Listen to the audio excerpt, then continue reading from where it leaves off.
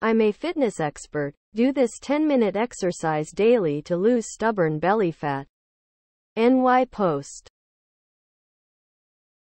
I did this once and I'm out of breath lol, one person confessed.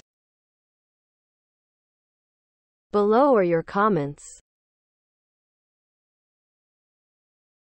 Diet is 80% and I can't believe there are still people talking about spot reduction, that's been dis.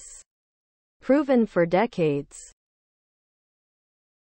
Exercise helps, but more in keeping your muscles and bones in good shape.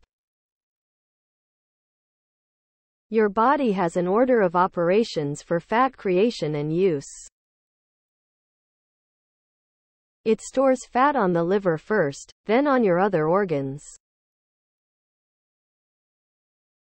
This is to create easily accessible energy storage for your most vital functions should you begin to starve.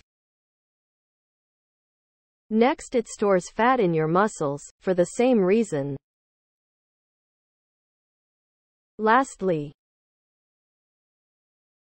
it's been said, over and over, by the real experts, that belly fat doesn't go away just with exercise.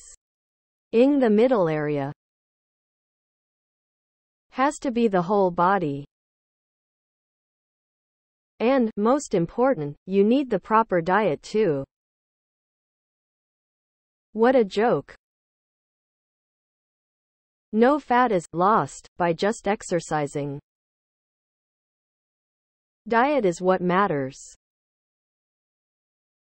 You can strengthen tone with exercise but only your diet will help you lose fat.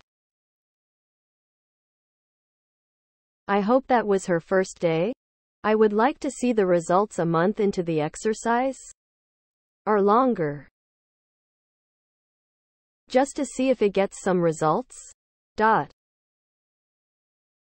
Please subscribe to my channel. And if you like it, please thumbs up.